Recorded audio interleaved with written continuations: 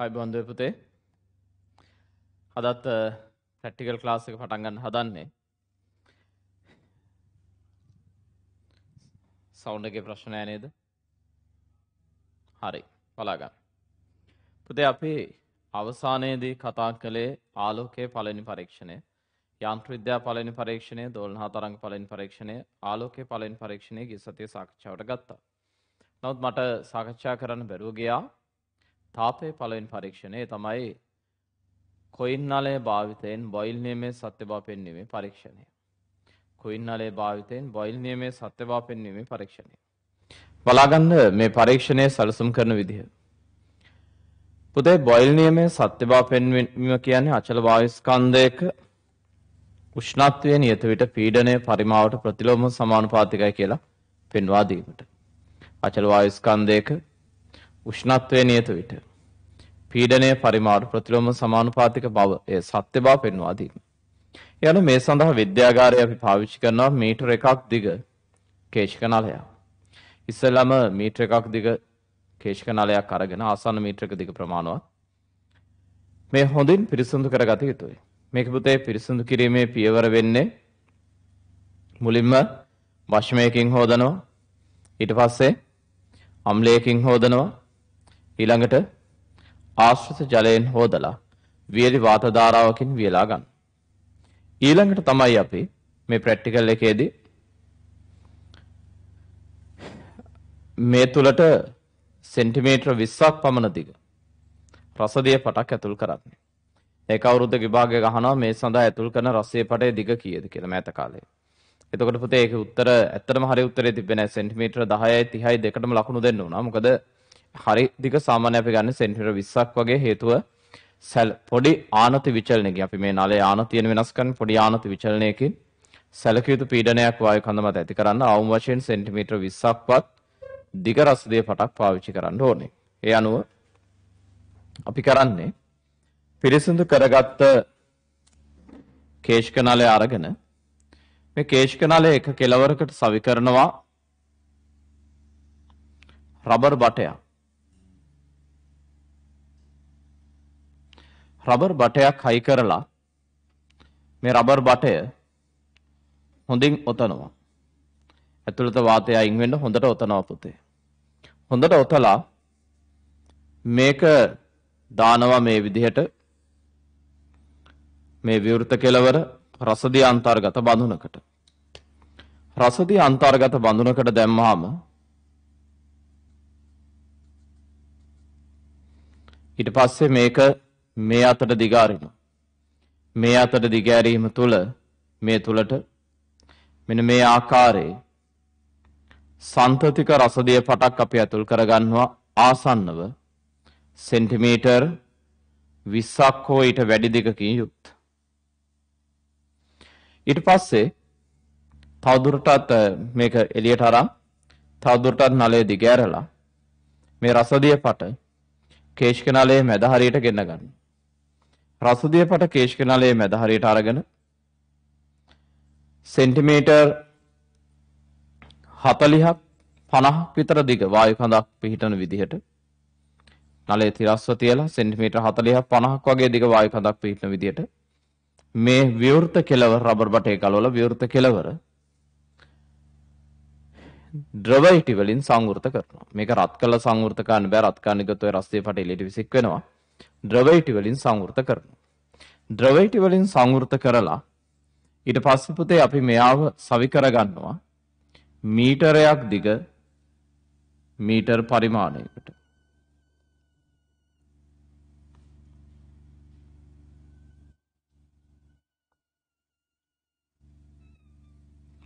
මීටරයක් දිග මීටර පරිමාණයකට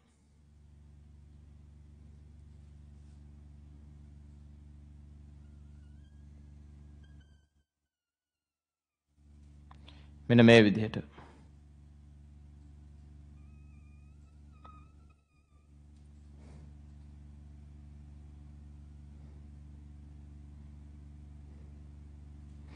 සවි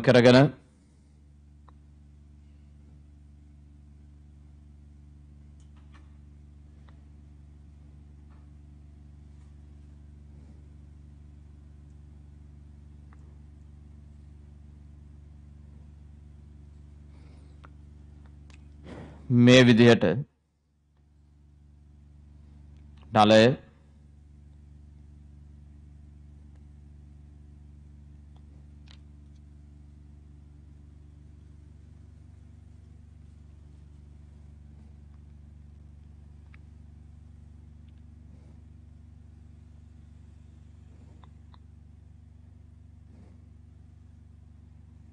ආධාරකයක් භාවිතයෙන්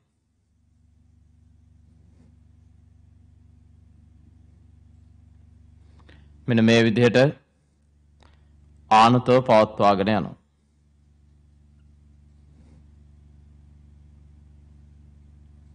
පුතේ මේ ආධාරකය අඳින එක පවා වැදගත් හරි. මොකද උපකරණ ඇටුමක් අඳිනවා කිව්වහම විද්‍යාගාරයේ ඇටුම හදන විදිහ දිමානව අපි අඳින්න ඕනේ. මේ තමයි ස්වභාවය. මේ තියෙන්නේ සිර වී ඇති වායු කඳේ දිග සිම්පල් L මේ තමයි රසදිය පටේ දිග. Simple X. නලයේ මුළු දිග සාමාන්‍ය මීටරයක් දිග නලයක් ගන්න මං L කියලා ගන්නවා. මේ ආනතිය ටීටා. මේ උස කැපිටල් X කියලා ගන්න.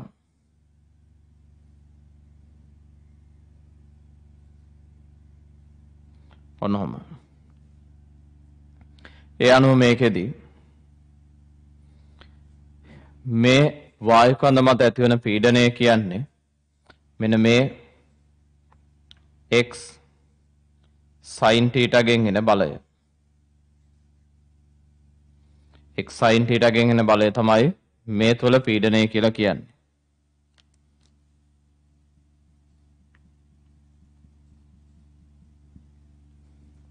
හරි. ඒ අනුව සිරවී ඇති වාතයේ මුළු පීඩනය කියන්නේ මෙතෙන්ට බලපානවා පුතේ වායුගෝලීය පීඩනය මේවා මේ රූප සටහනකට ලකුණු කරන්න එපා. ඇටෝමකට අඳින්න එපා පුතේ වායුගෝලීය පීඩනය බලපානවා. සාමාන්‍යයෙන් මේ පරීක්ෂණය අපි ඒක බොයිල් නියමයේ සත්‍ය බව පෙන්වන්නට අමතරව අපි කරන එක වැඩක් තමයි මේකෙදි මේ වායුගෝලීය පීඩනය හොයනවා. ඒකම පසුව රසදිය බැරෝමීටර එකකින් වායුගෝලීය පීඩන අගය හොයලා බලලා ඒක මේක සමාන වෙනවද කියලා බලනවා. ඒ අනුව මේ තුල තියෙන වාතයේ පීඩනය වෙන්නේ H0 ධන x sin θ කියන එක. හරි ඔය තමයි මේ තුළ තියෙන වාතයේ පීඩනය විශාල කරන්න සීමාව. මේකේ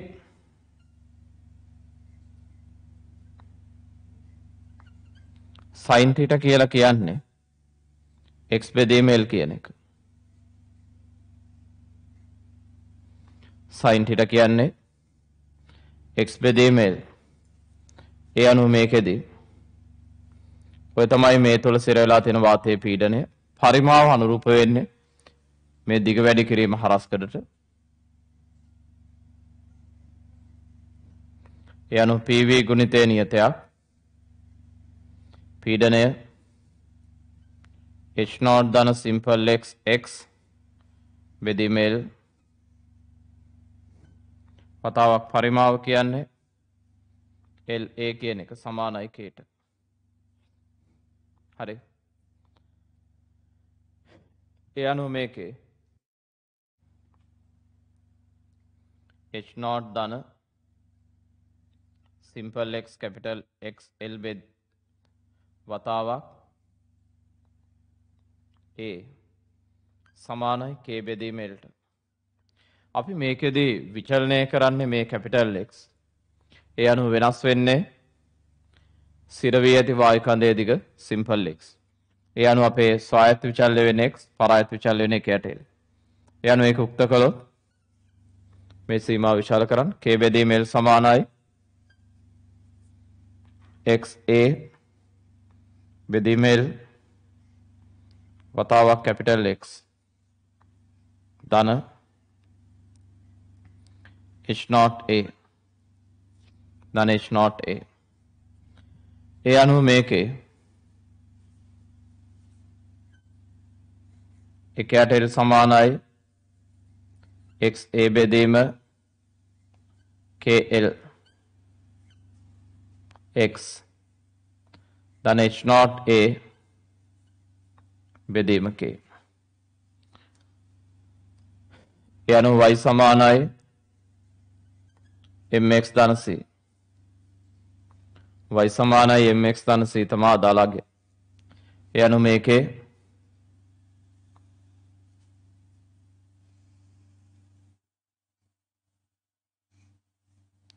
එක් සහ එකයට එල් අතර ප්‍රස්ථාරයක් අඳින. අපි කරන්න පුතේ x වෙනස් කරමින් ප්‍රස්ථාරයක් අඳිනවා. සාමාන්‍යයෙන් මේක දැන් බලාපොරොත්තු වෙනා වායු කඳේ සැලකිතු වෙනස. මොකද අපි ආරම්භයේත් වායු කඳේ දිග සෙන්ටිමීටර 10ට වැඩි අගයක තියාගන්නවා. හරි. රසදිය පටේ දිගත් 10ට වැඩි අගයක තියාගෙන මෙන්න මේ වගේ ප්‍රස්ථාරයක් බලාපොරොත්තු වෙනවා. මේ ප්‍රස්ථාරය අඳින්න සාමාන්‍යයෙන් කණ්ඩාංක 5ක් හෝ 6ක් පාවිච්චි කරන්න.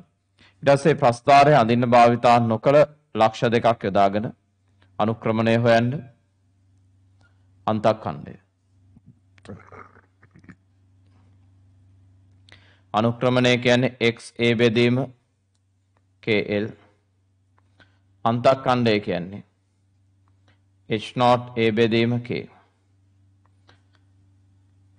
මේ දෙක බෙදුවොත්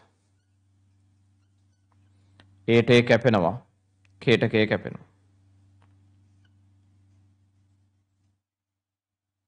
ඔන්න හොම එනවා. හරි.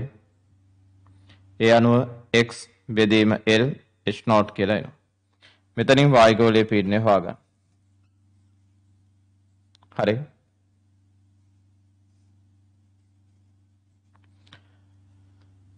ඔතනින් පුළුවන් වායුගෝලීය පීඩනය සඳහා ගයක් ලබා ගන්න. හරි. ඔතනින් පුළුවන් වායුගෝලීය පීඩනට අගයක් ගන්න. ඊට පස්සේ ඔයගොල්ලන් කරන් තියෙන දැන් පළවෙනි කාරණාව ප්‍රස්ථාරය මේ හැඩතලය ලැබීම තුළින් ඒකට පදනම් කරගත්ත PV ගුණිතයේ නියතයක් වෙන බොයිල් නියමයේ සත්‍යතාවය තහවුරු වෙනවා. මොකද අපි බලාපොරොත්තු වෙන y සමාන mx ධන c හැඩතලයක් ගණිතෙන් ඛණ්ඩාංක ටික ලකුණු කරලා හැඩතලයන් දාම ඒක y සමාන mx ධන c වෙනවා කියන්නේ අපේ අරමුණ ඉෂ්ට වෙනවා. බොයිල් නියමයේ සත්‍ය බව පෙන්වා දෙන්න පුළුවන්. හරි. සාමාන්‍ය පුතේ මේකෙදි කේශක නලය විදිහට පාවිච්චි කරන්නේ අභ්‍යන්තර විශ්කම්භය මිලිමීටර 3ක් වගේ දෙකක් තුනක් වගේ විශ්කම්භයක් තියෙන කේශක නලයන්. මොකද එතකොට අපිට වැඩි දිග රසදිය පටක් හොඳින් රඳවන්න හැකියාවක් තියෙනවා. ඒ වගේම මේකේ විශේෂ දෙයක් වෙනවා මේ සමහර වෙලාවට මේ රසදිය පට මත වායු බුබුලු රැඳෙනවා. එහෙම වුණොත් ඒ වායු බුබුලු අයින් කරගන්න අවශ්‍යයි. මොකද අනිවාර්යෙන් සන්තතික රසදිය පටක් තියෙන්න ඕනේ ඇතුළත වායු බුබුලු නොමැති. හරි. සන්තතික රසදිය පටක් පවත්වාගෙන යාම අත්‍යවශ්‍ය දෙයක්. වායු බුබුලු නොමැති. හරි x කියලා මේකෙදී අපි ගණනය සඳහා ගන්නේ රස්තිය පටය දිග. නලේ මුල දිග අරගෙන මේ විදිහට තමයි අදාළ වායුගෝලීය පින්නේ ගන්න. එකන් මේක රස්තිය බැරෝමීටරකින් නැවත හොයලා බලන්න මෙහි සත්‍යතාවය සම්බන්ධව. හරි. කෙටි සටහනක් එක්ක අපි ගිය දිගටම හරි ඒ කෙටි සටහනට යමු ලියන්න. ලියන්න පුතේ. බොයිල් නියමයේ සත්‍ය බව පෙන්වීම. බොයිල් නියමයේ සත්‍ය බව පෙන්වීම.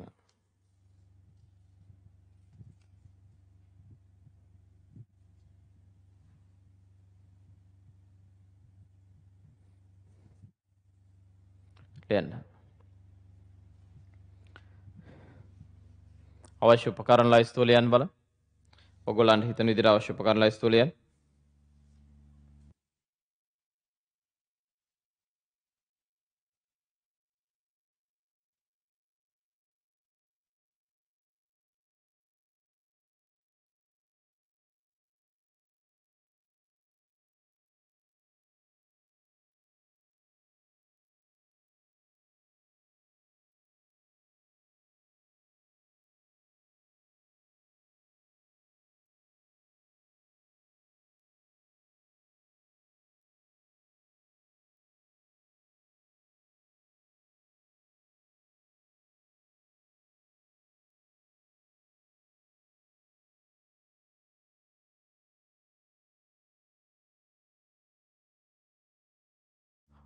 හරි.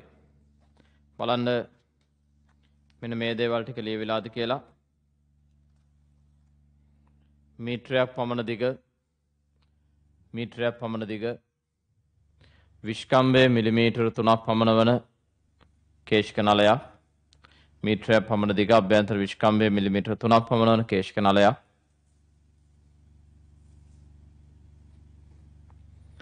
මීටර් රූලක් මීටර් රූල් දෙකක් මොකද මේ උසමයි ඉන්නත් ඕනේ. මේ උසමයි ඉන්නත් ඕනේ මීටර් රූල් දෙකක්. රසදිය ආධාරකය ආධාරකය උෂ්ණත්වමානය. ඔක අමතක වෙන දෙයක්.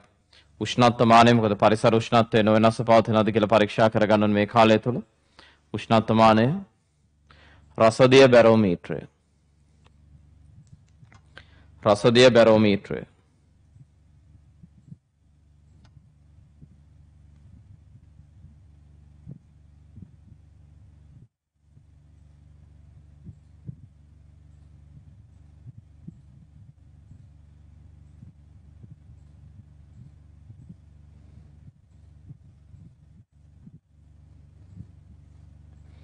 හරි.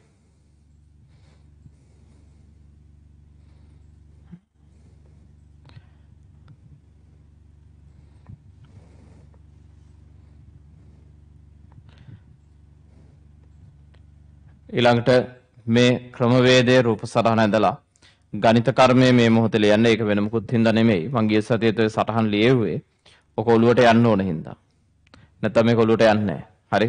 ක්‍රමයන් ලියන්න අවශ්‍ය නැහැ. හරි? මෙන්න මේ පොඩ මේ ඇටෝම ලියාගෙන මේකේ ගණිතමය සම්බන්ධය ලියන්න. ඒ සීමා පෙන්න. ඉස්සල ඇටෝම ඔය විදිහට තියන්නකෝ.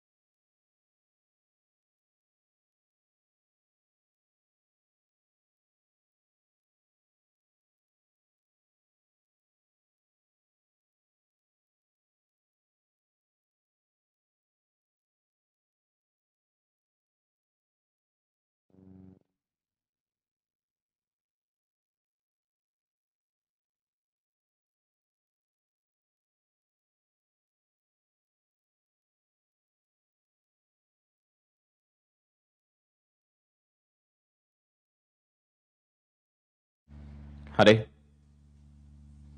ලියන්න ඉවරද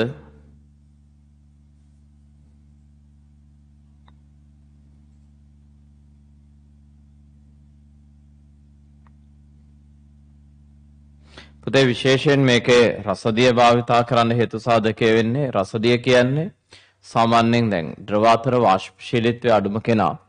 එතකොට මේ සිරවන වායු කලාපයේ සංතෘප්ත රසදිය වාෂ්ප පීඩන බලපෑම අතිශය කුඩායි. ඒ වගේම රසදිය වීදුරු තෙත් නොකිරීම.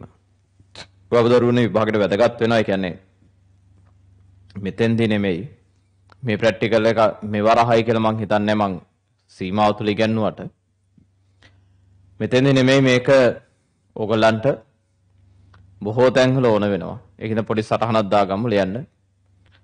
මෙවැනි පරීක්ෂණ සඳහා රසදිය භාවිතයේ වැදගත්කම.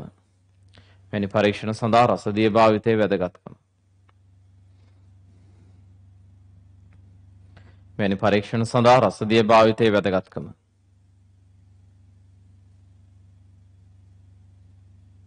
ලියන්න.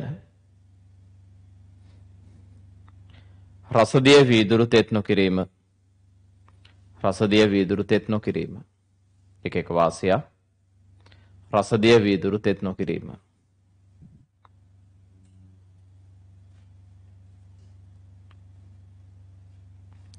දෙක. රසදියෙහි වාෂ්ප බලපෑම අවම වීම. රසදියෙහි වාෂ්ප බලපෑම අවම වීම. රසදිය වාශ්ප බලපෑම අවමවීම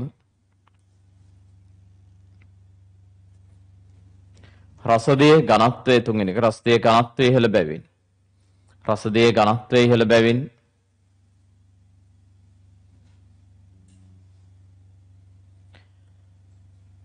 කුඩා ආනත විචලනයකින් කුඩා ආනත විචලනයකින් කුඩා ආනත විචලනයකින්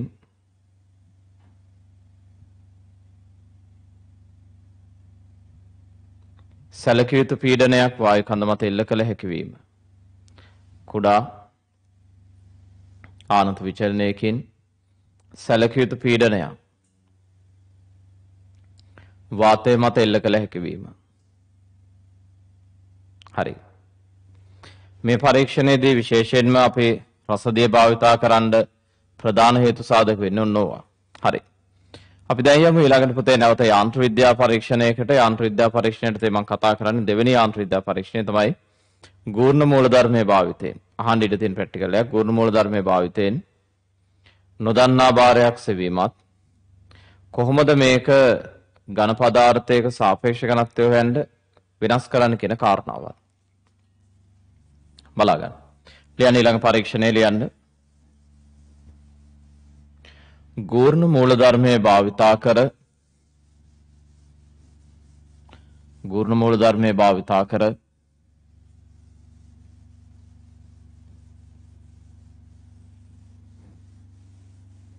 නොදන්නා භාරයක් සෙවීමත්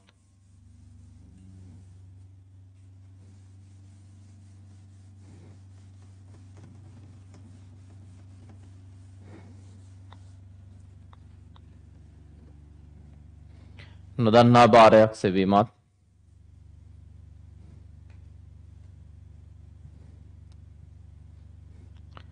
ඝන පදාර්ථයක සාපේක්ෂ ඝනත්වයේ සෙවීමත්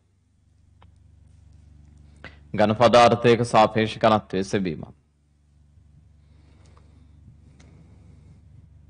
හරි. කොහොමද මේ ප්‍රැක්ටිකල් එක කරන්නේ? බෝඩ් එක දිහා බලන්න. පුතේ මේ පරීක්ෂණය සැලසුම් කරන්නේ මේ මෙහෙමයි. මේක සැලසුම් කරන්නේ මේ විදිහට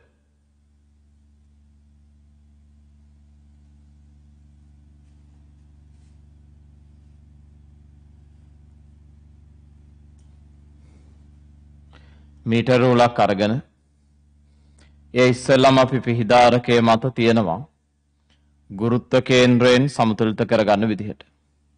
ඒ කියන්නේ මීටර රූල තියෙනවා පිහිදාරකයේ මත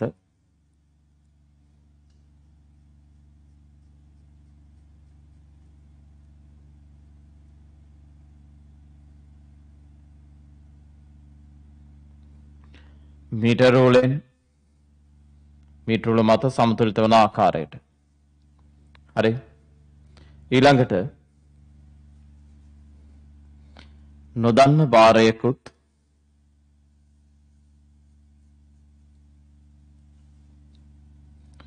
ඊට ආසන්න සමාන තරාදිපටියකුත් අවිතන්‍ය තන්තු වලින් ගැට ගහලා සැහැල්ලු අවිතන්‍ය තන්තු වලින් ගැට ගහලා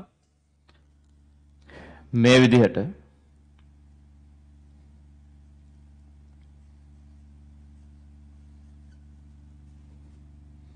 මීටර් රෝල සන්තුලනය කරනවා.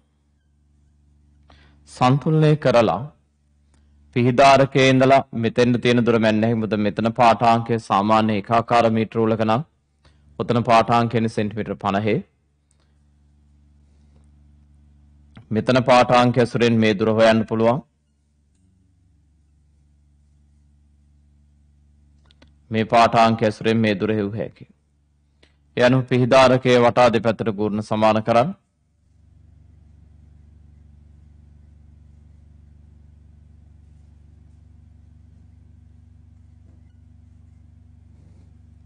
ඒ අනුව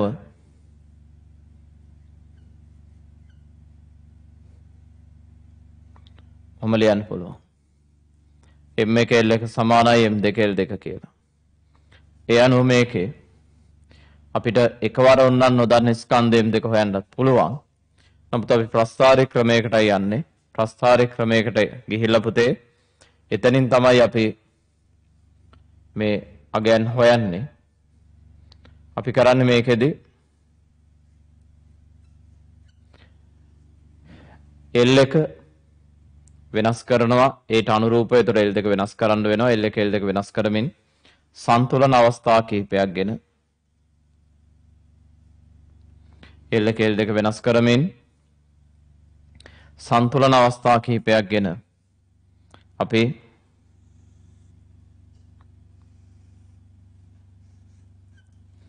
එල් එකට එදිරි එල් දෙක ප්‍රස්ථාරගත කරනවා.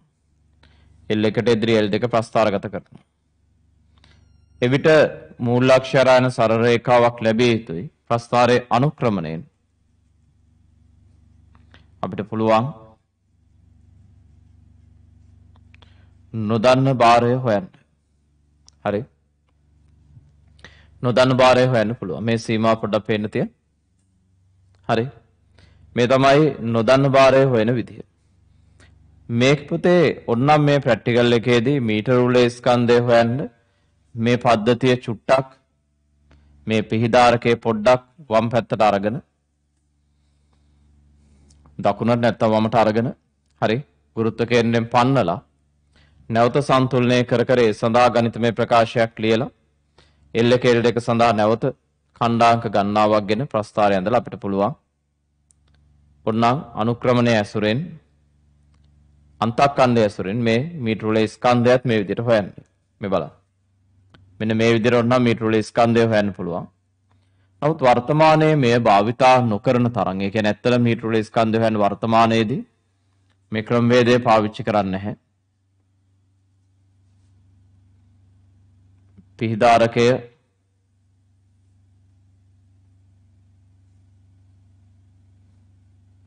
මේ පැත්තට පැන්නුවයි කියලා හිතා. හරි. එතකොට මේ විදිහට දණ්ඩේ බර යනවා ගුරුත්ව කේන්ද්‍රය. ඊළඟට මේ පැත්තට නොදන්න බාරයත් මේ පැත්ත තරාදිපඩියත් එල්ල. මේක ඕනනම් දෙපැත්ත මාරුණයි කියලා ප්‍රශ්නයක් නැහැ. හරි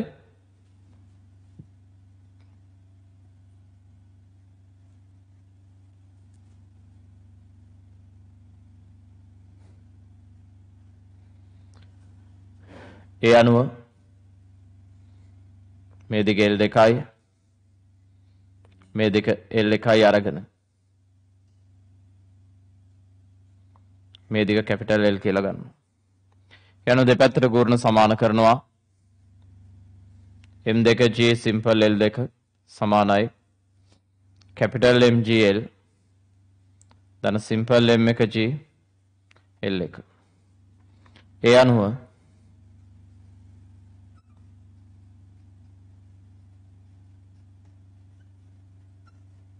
මම ලියන්න පුළුවන්. මේකෙන් ඔබට පුළුවන්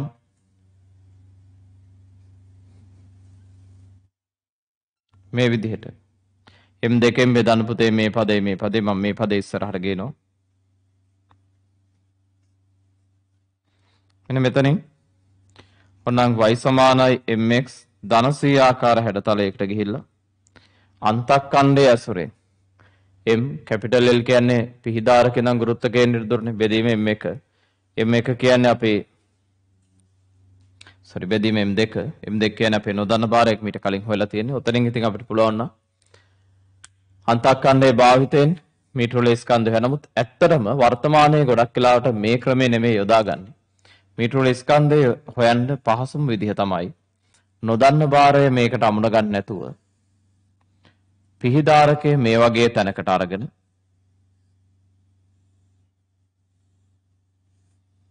හරි මේ පැත්තට දන්නා තරාදිපඩිය දානවා. එතකොට මේ වගේ තැනකින් දණ්ඩේ බර ක්‍රියාත්මක වෙනවා පල්ලෙහාට.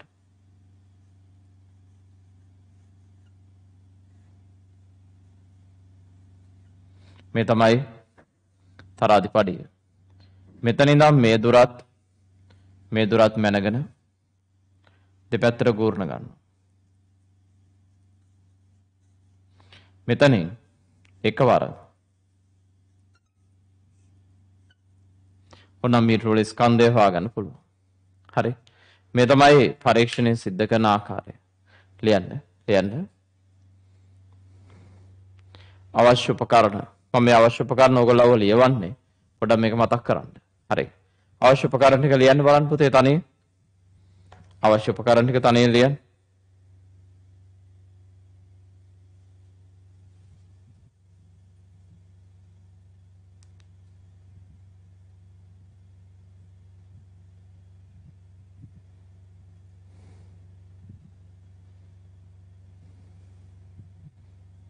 අවශ්‍ය උපකරණ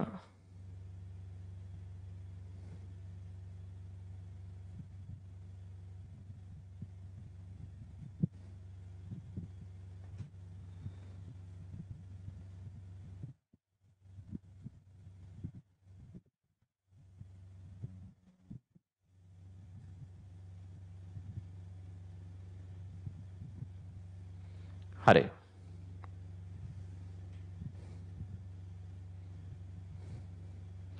ලියන්න. මෙන්න මෙයා ලියලා බලන්න. මීටර රූල පිහිදාරකය සැහැල්ලු තන්තු තරාදිපඩි ඔබ ලියලා බලන්න මේවා. සැහැල්ලු තන්තු තරාදිපඩි නොදන්න බාරය හරි ඔය තමයි අවශ්‍ය කරන උපකරණයන් ටික. හරි මූලික මේ ක්‍රියාවලිය ලියාගන්න ඉස්සෙල්ලම මූලික මේ ක්‍රියාවලිය ලියාගන්න පුතේ.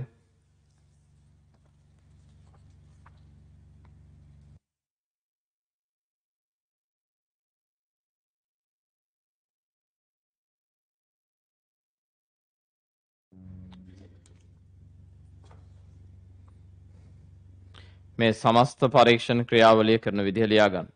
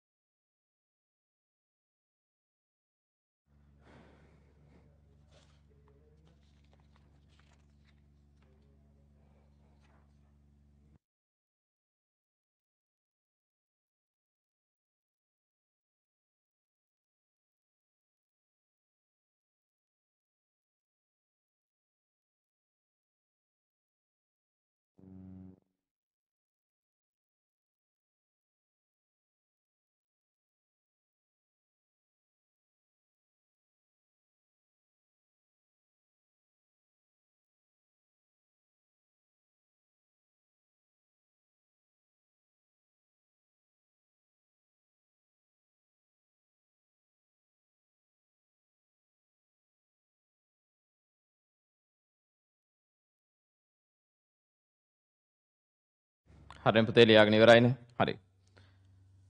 මේක ඉතින් අ, වැදගත්ම කරුණ වෙන්නේ ප්‍රධාන පිළේ ඔබෙන් විභාගයට අහන්න පුළුවන් කරුණ ටික මම පොඩි සාරාංශගත කිරීමක් කරන්නම්. පළවෙනි තර ලකුණු දාලා ලියන්න. මම මේ ඔළුවට මේ වෙලාවේ දාන්න ඕන කරුණ ලියන්න. තරාදිපඩියක් තෝරා ගැනීමේදී තරාදිපඩියක් තෝරා ගැනීමේදී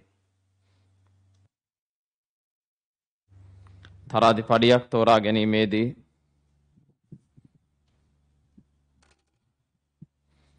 තරාදිපඩියක් තෝරා ගැනීමේදී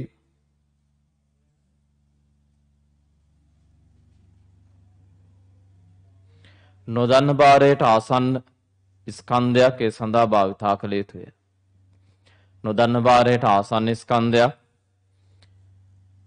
ඒ සඳහා භාවිතා කළ යුතුය. නොදන්න භාරයට ආසන්න ස්කන්ධයක් ඒ සඳහා භාවිතා කළ යුතුය. නොදන්න භාරයට ආසන්න ස්කන්ධයක් ඒ සඳහා භාවිතා කළ යුතුය. එට හේතුව වන්නේ එට හේතුව වන්නේ එට හේතුව වන්නේ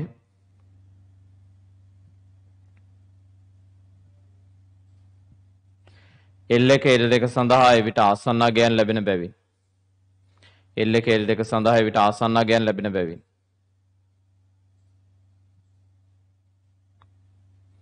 එල් එක එල් දෙක සඳහා එවිට ආසන්නාගයන් ලැබෙන බැවින්.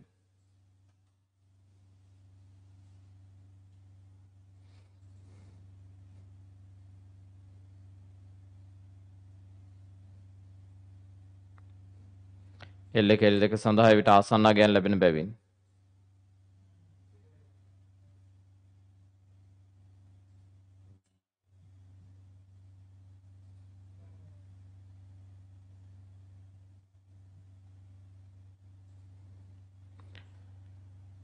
එල්ල කෙල් දෙක සඳහා විට ආසන්නාගයන් ලැබෙන බැවින්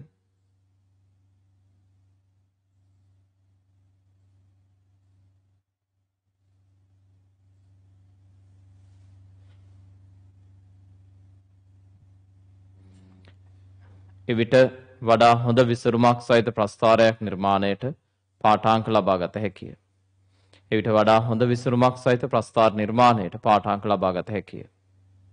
මොකද පුතේ එතකොට L කේල් දෙක ආසන්නව සමානයි. එතකොට වඩා හොඳ විසරුමක් තියෙන ප්‍රස්ථාරයන් නිර්මාණය කරන්න පාඨාංක ගන්න පුළුවන්. දැන් බැරි වෙලා හරි ඔබ නොදන්න බාරයට සාපේක්ෂව ගොඩක් ලොකු බාරයක් තෝරගත්තොත් එතන ගන්න දන්න බාරයේ විදිහට මේ දුරට සාපේක්ෂ මේ දුර ගොඩක් අඩුයි. ඒතර මෙයාගේ දුරවල් දෙකක් විතර වෙනස් කරද්දි මෙයා මීටර උඩේ එහාට ගෙනියන්න ඕනේ.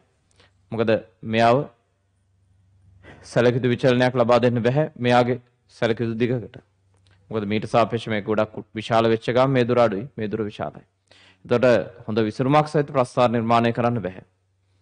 ඒ වගේමයි මේ පරීක්ෂණය අපිට ඔන්නම් මේ බාරයන් මීටර වල මත තියලා කරන්න පුළුවන්. හැබැයි එතකොට පොඩි ප්‍රශ්නයක් එනවා. පිහිදාරකේ ඉඳලා අදාළ බාරයන්නේ බරේ ක්‍රියාරේඛාවට තියෙන දුර මැනීමේදී. ලියන්න ඒකත්. අදාළ බාරයන් මීටර වල මත තබමින් අදාළ බාරයන් මීටර වල මත තබමින්. අදාළ බාරයන් මීටර වල මත තබමින් සන්තුලනය කළ හැකිව්වත් සන්තුලනය කළ හැකිව්වත් සන්තුලනය කළ හැකිව්වත් සන්තුලනය කළ හැකිව්වත්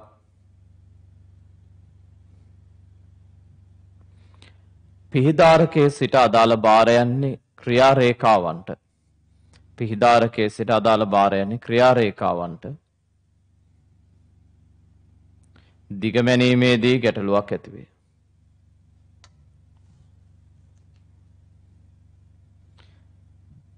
අදාළ භාරයන්නේ ක්‍රියාරේඛාවන්ට දිගමැනීමේදී ගැටලුවක් ඇතිවේ.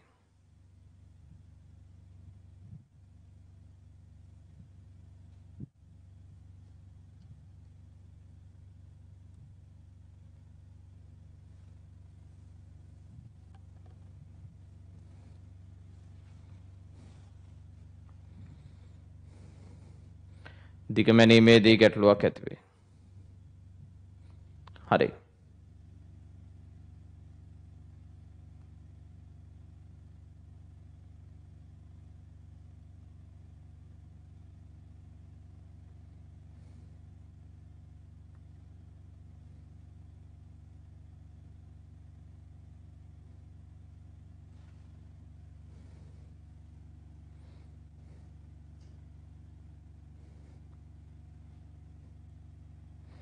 හරි. එන්න පුතේ අපි ඒ ක්‍රමවේදයට ගමන් කරන්නේ නැහැ සාමාන්‍යයෙන්. හරි. ඒ ක්‍රමවේදයට යන්නේ නැහැ. ඒක මේ ප්‍රස්ථාරය අනුක්‍රමණය ගණිතය හොඳට මතක තියාගන්න. මේක දෙන්න පුළුවන් විභාගයට දෙන්න පුළුවන් ප්‍රැක්ටිකල් එකක්.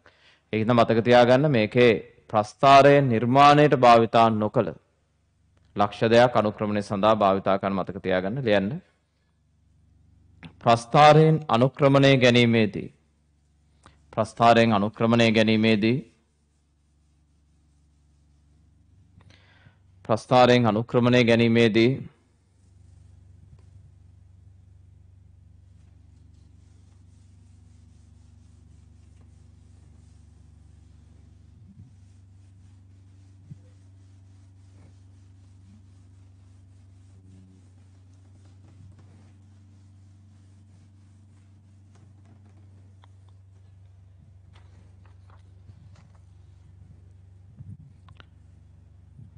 ප්‍රස්ථාරයෙන් අනුක්‍රමණය ගැනීමේදී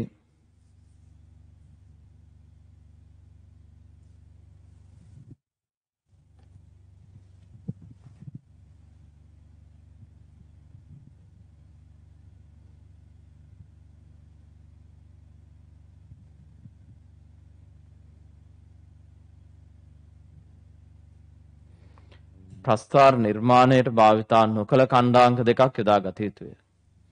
ප්‍රස්ථාර නිර්මාණයට භාවිතා නොකළ කණ්ඩාංක දෙකක් යොදා ගත යුතුය.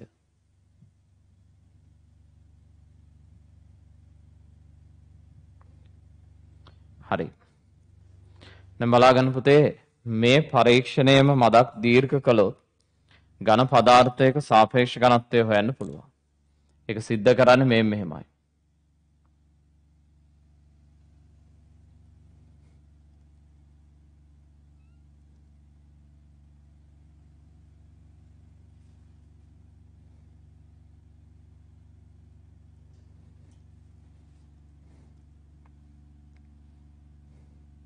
මෙන්න මේ විදිහට.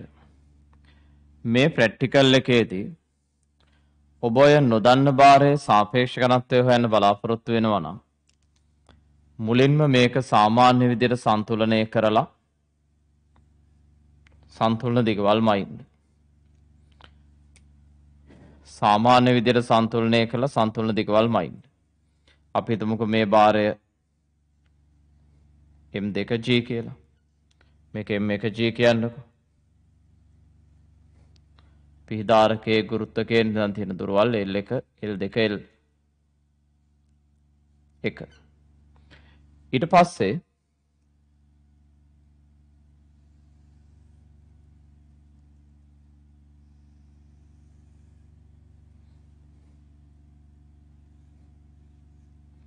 මේ නොදන්න බාරය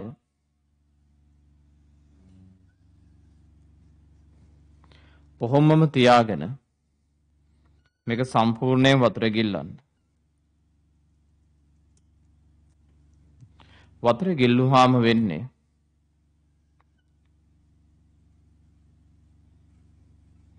මේකේ බර පල්ලෙහාට තියෙනවා උඩුකුරු තෙරපම වෙනවා ජලයෙන් ඇති කරන ආතතිය තියෙනවා.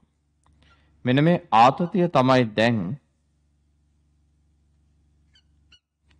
ගූර්ණයට බලපාන්නේ. මේ දිග වෙනස් කරන්නේ.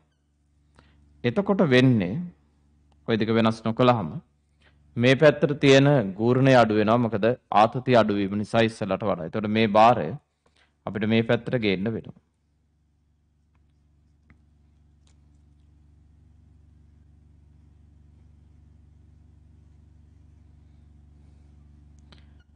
යන අවස්ථා දෙකේදී ගූර්ණ සමාන කළොත් දෙපැත්තට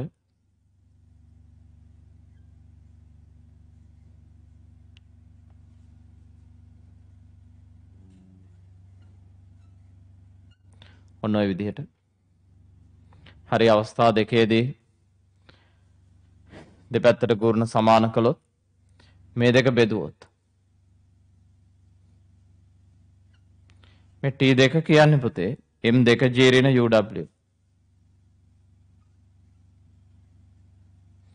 මේ දෙක බෙදද්දී ඇත්තටම M1G L1 M2G L3 M1G කැපිලා මෙයා විතරයි ඉතුරු වෙන්නේ. මේකට ආදේශ කරන්නයි තියෙන්නේ. මේකට ආදේශ කළා නම් හරි M2 කියන්නේ වස්තුවේ බර VDG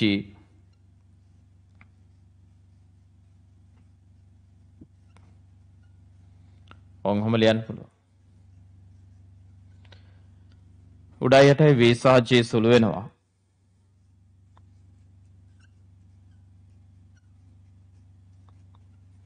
ඒ අනුව හරස් ගුණ කළොත්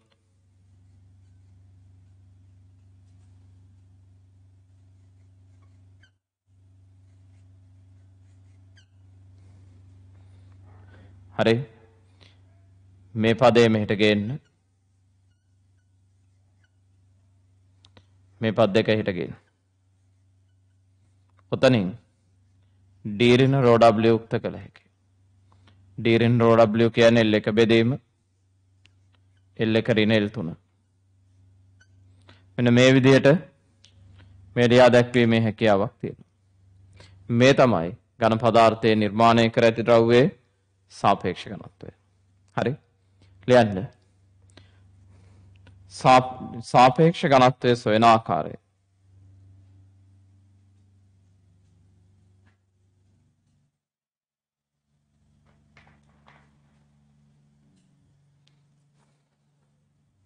ඝන ද්‍රව්‍යයක සාපේක්ෂ ඝනත්වයේ සෙවීම. හරි. මේක ලියාගන්න පුතේ ඉස්සෙල්ලාම ඉක්මනට.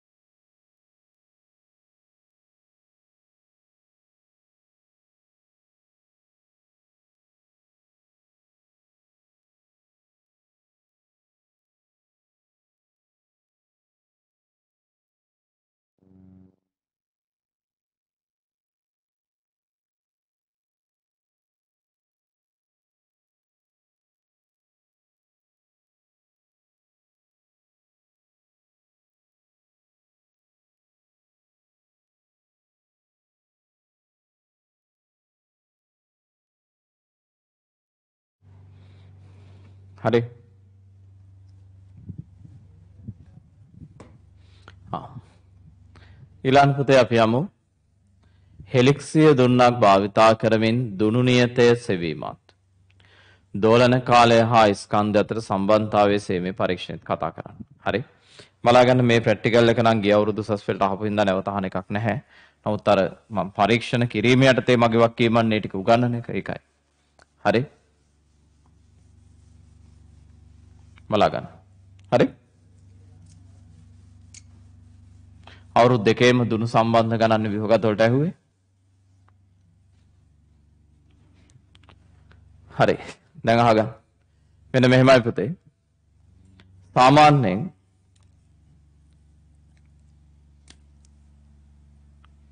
අපි ටිකක් කල් පාවිච්චි කරපු හෙලික්සිය දුන්නත් තා මේ ප්‍රැක්ටිකල් එකට ගන්නෙ. මොකද අලුත්ම හෙලික්සිය දුන්නක් ගන්න එපා.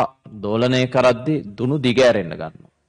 එහෙම වුණොත් දුන්නේ දුනු නියතේ වෙනස් වීම නිසා පරීක්ෂණයට බලපෑමක් එල්ල වෙනවා. ටිකක් කල් පාවිච්චි කරපු දුන්නක් ගන්න අරගෙන මේක සරල පරීක්ෂණයක්. මේ විදිහට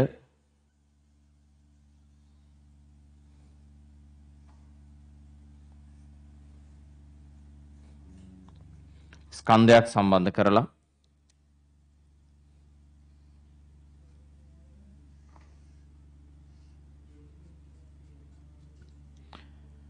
මේකට පොඩි දෝලනයක් ලබා දෙන්න මෙහෙම.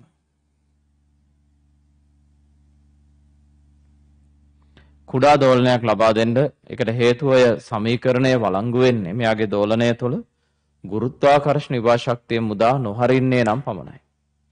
මෙයාගේ දෝලනය තුළ ගුරුත්වාකර්ෂණ විභාශක්තිය මුදා නොහරින්නේ නම් තමයි මේක සත්‍ය වෙන්නේ. හරි? ඒ නිසා පොඩි දෝලනයන් තමයි ලබා දෙන්න ඕනේ. යොමු කූරක් යොමු කරන්න මෙහෙම. T සමානයි 2.5 මූල m බෙදීම k තමයි සමීකරණය. අනුව සරලව පරීක්ෂණය කරන්න නම් එකතු කරන ස්කන්ධය මෙතෙන්ට තරාදිපට රඳවන්නට එක් කරන ස්කන්ධය වරින් වර වෙනස් කරනවා. ඒ වෙනස් කරන හැම වතාවකම යොමු කූරේ පිහිටුම් වෙනස් කළ යුතු බව මතක තියාගන්න. මොකද ඒ වෙනස් කරන සෑම වෙලටම යොමු කූර පල්ලෙහාට ගෙනියන්න වෙනවා. දෝලන කාලය අරගෙන මේ විදිහට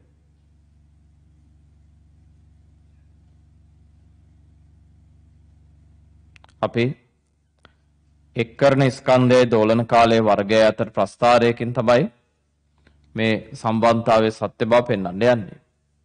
ඒකෙදි සාමාන්‍යයෙන් අර සරලවලම් ප්‍රැක්ටිකල් එක වගේ තමයි ඔබ දන්නවා එක දෝලනයකට කාලය මැන්නොත් කාල මිනිමේ ප්‍රෙෂර් දෝෂය ගොඩක් ඉහළ නිසා අපි දෝලන 20කට වගේ තමයි කාලය මයින්නේ. ඒ අනුව දෝලන 20කට වගේ කාලය මැනලයි දෝලන කාලය හොයාගන්නේ. ඒ අනුව ස්කන්ධය හා දෝලන කාලයේ වර්ගය අතර ප්‍රස්ථාරය ඇන්දොත්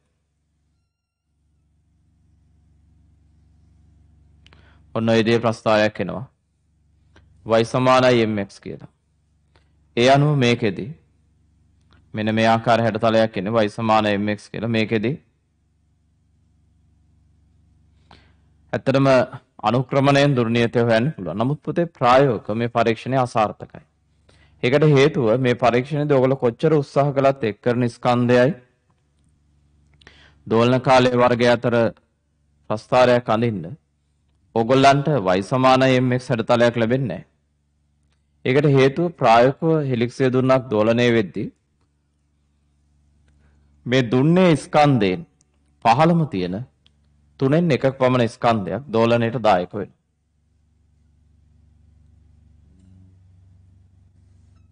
මෙන්න මේ විදිහට.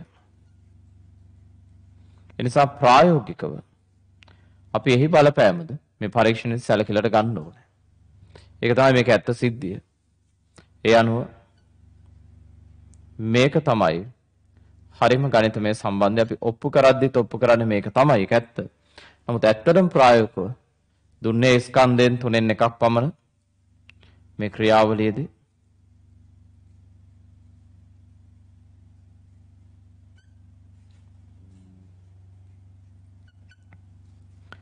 මේකට දායක වෙනවා. හරි. ඔන්න ඔහමයි එන්නේ. y සමානයි mx ධන c කියලා එන්නේ. ඒ අනුව මේකෙදි ස්කන්ධයත් එක්ක දෝලන කාලයේ වර්ගය ප්‍රස්ථාරගත කළොත් ඔබට මේ ආකාර හැඩතලයක් ලැබෙනවා. හරි.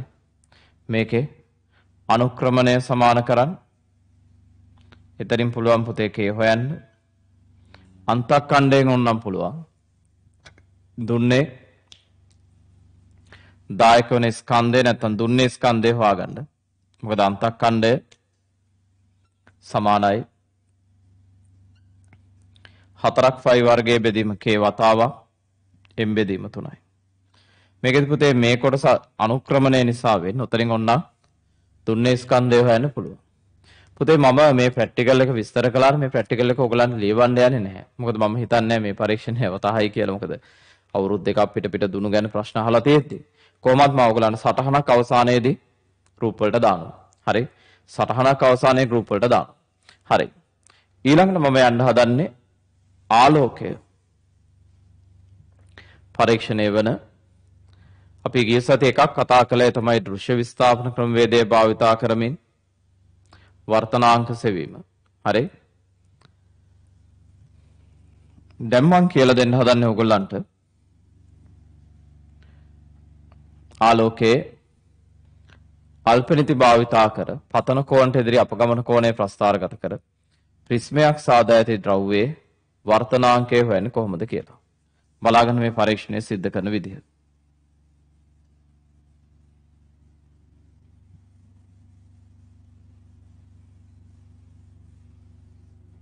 හරි මට තප්පරයක් දෙන්න.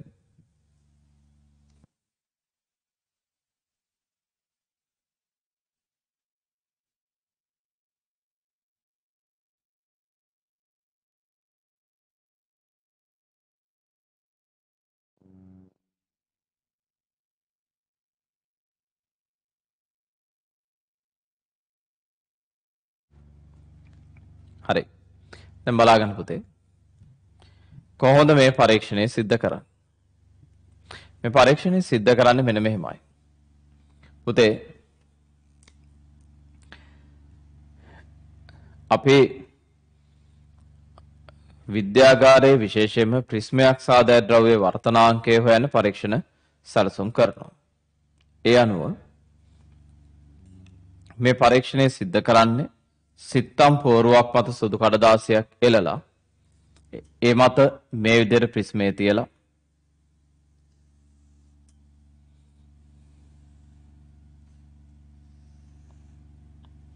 එක පැත්තක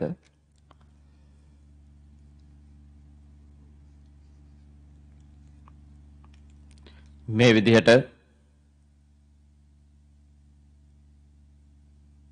අල්පෙනෙත් දෙකක් සිටවලා මේ පැත්තෙන් ඔය අල්පෙනෙත් දෙක නිරීක්ෂණය කරනවා. නිරීක්ෂණය කළාම හරි මේ පැත්තෙන් බලන කෙනාට ඔය අල්පෙනෙත් දෙක පේනවා. ඊට පස්සේ මේ හා ඒකරේ කියවෙන්න අල්පෙනෙත් දෙකක් සිටවීමෙන් ඔබට පුළුවන් පතන කෝණයට අනුරූප වර්තන කෝණය ඇඳගන්න. මෙහෙම. ඒ අනුව පතන කෝණය සමග වර්තන කෝණය අතර ආනතියවත් අපගමනයම ඉන්න පුළුවන්.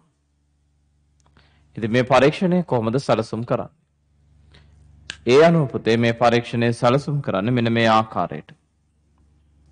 පරීක්ෂණය සැලසුම් කරන්නේ අපි සිත්තම් පූර්ව මත අඳිනවා මේ මෙහෙම රේඛාවක්.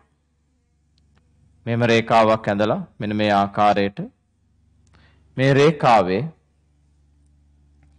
මෙන්න මෙහෙම ලම්බකයන් ඇඳලා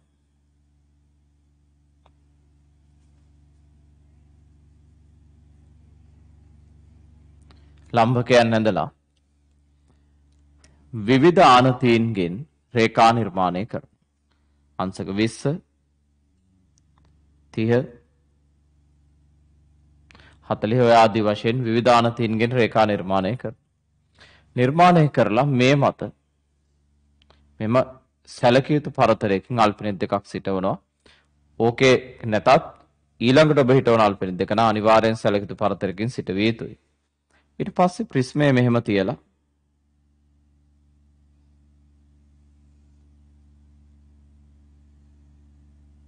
මේ පැත්තෙන් බලලා ඒ අල්පනිත් දෙක හා ඒකරේ කියවන ආකාරයට සැලකිත පරතරයකින් අල්පනිත් දෙකක් සිටවනවා. සිටවල මේ අල්පිනිත් දෙකේ පිහිටුම් දෙක යා කළාම නිර්ගත කිරණය ලැබෙනවා. ඉතින් පතන කිරණයත් නිර්ගත කිරණයත් අතර ආනතිය දැන් ඇත්ත ලෝකේ මේක මෙහෙම තමයි එන්නේ. නමුත් පතන කිරණයත්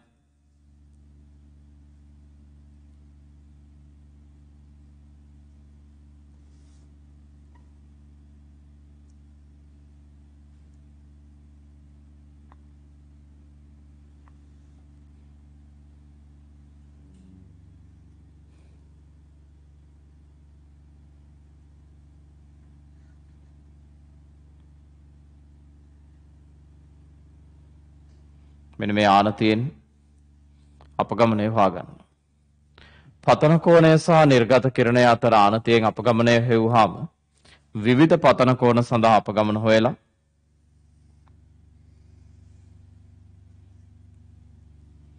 පතන කෝණයට එදිරි අපගමන කෝණය ප්‍රස්ථාරය අතින. ඔය ප්‍රස්ථාරය ඇන්දාම සාමාන්‍යයෙන් මෙන්න මේ වගේ හැඩතලයක් තමා පුතේ ලැබෙන්නේ. හරි. ඕකෙන් අවම අපගමනය හොයනවට වඩා හොඳයි සාමාන්‍යයෙන් මේ ප්‍රස්ථාරය ඇන්දට පස්සේ අවම අපගමනයට ආසන්න සීමාවේ මෙන්න මේ සීමාවේ දෙපැත්තේ කණ්ඩාංක තුන බැගින් වන විදිහට නැවත පරීක්ෂණය සැලසුම් කිරීම. අපි හිතමුකෝ අවම අපගමනට ආසන්නව යන පතන කෝණය අංශක 40යි කියලා. අපි කරන්නේ පුතේ 35යි 45යි අතර සීමාවේ. 35 37 39 41 43 45 වගේ කෝණ සඳහා නැවත මේ පරීක්ෂණය සිද්ධ කරනවා. ආයසරයක් මේ ප්‍රැක්ටිකල් එකම එක කෝණ වලට කරනවා. කරලා ආයි ප්‍රස්ථාරය ටිකක් පුළුල් සීමාවක අඳිනවා. ඒතර වඩා හොඳට අවම අපගමනය හොයාගන්න පුළුවන්. ඒ වගේමයි මේකේ ප්‍රිස්ම කෝණය ගණනය කරගන්න පුළුවන් අපිට මෙහෙම. මෙන්න මේ විදිහට සුදු කඩදාසියක් මත මෙයා තියලා. හරි. අල්පනේති ආධාරයෙන් මෙහෙම පාර්ශික පරාවර්තන කිරණය නිර්මාණය කරගෙන මම මේ ගැන විස්තර කරනවා පුතේ තව පොඩ්ඩකින්. පාර්ශික පරාවර්තන කිරණ නිර්මාණය කරගෙන මෙන්න මේ අතර ආනතිය. මේක ප්‍රිස්ම කෝණයෙන් දෙගුණයක්. වෙන ගැනීමෙන් ප්‍රිස්ම කෝණය හොයාගන්න පුළුවන්. ඒ අනුව අවම අපගමන කෝණයයි.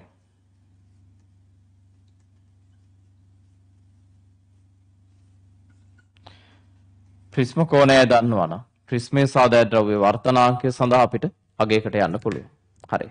මම දැන් ඔයගලන්ට අද දවසට අදාළ සටහන දාන්න හදන්නේ. සටහන තුල මම යම් යම් විස්තර කිරීමකට යනවා. අපිට අර ටියුට් එක ගෲප් එකට දාලා දෙන්න පුළුවන්. ගෲප්ස් ඔක්කොටම දාන්න. රිවිෂන් එකට තියරි වලට දාන්න.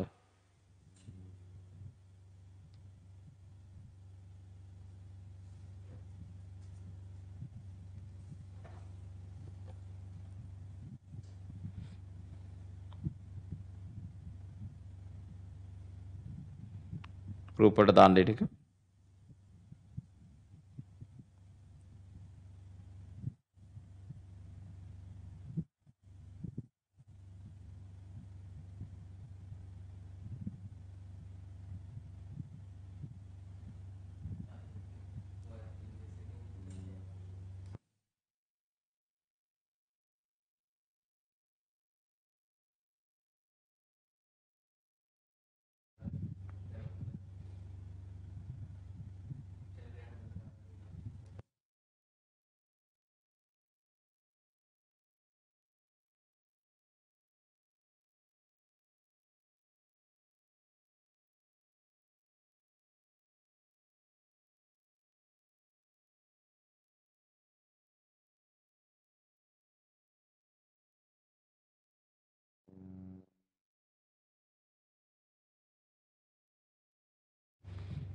පුතේ ගෲප් වලටයි දාන්නේ ටියුට් එක පොඩ්ඩක් ඉන්න.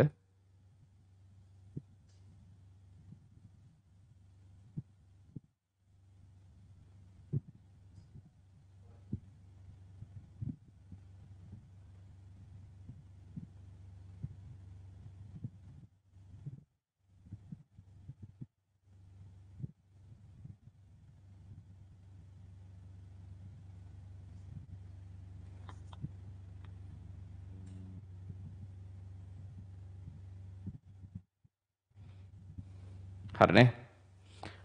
හරි ඕක පොඩ්ඩක් ඕපන් කරගන්න. දැන් දාපු ටියුට් එක ඕපන් කරගන්න. ඕකේ මම මයික්‍රොමීටර් ස්ක්‍රූ පාමාන නෝට් එකක් දාලා තියෙනවා. එන්න 10 වෙනි පිටුවට 10 වෙනි පිටුව ඕපන් කරගන්න පුතේ. ඔක්කොම ගෲප්ස් වල දාලා තියෙන්නේ 10 වෙනි පිටුව ඕපන් කරගන්න. හරි. පුතේ මේ පරීක්ෂණය කරද්දී අවශ්‍ය උපකරණ වෙන්නේ සිත්තම් පෝරුව සුදු කඩදාසි අල්පෙනිති කීපයක් මීටර රූලක් කෝණමානයක් සහ අංශක 60ක ප්‍රිස්මයක්. අංශක 60 ප්‍රිස්මයක් ගන්න හේතු සාධකය මේකයි. සාමාන්‍යයෙන් ප්‍රිස්ම කෝණය අපි තෝරගන්න ඕනේ මතක තියාගන්න අවදි කෝණයෙන් දෙගුණයකට වඩා කුඩා අවදි කෝණයට වඩා විශාල සීමාව. එහෙම වුණොත් තමයි අපිට අර පතන කෝණ වලට එදිරි අපගමන කෝණ ගන්න පුළුවන් වෙන්නේ උපරිම ප්‍රමාණය. හරි. ඒ අනුපතේ අපි පරීක්ෂණය කරන්නේ මෙහෙමයි.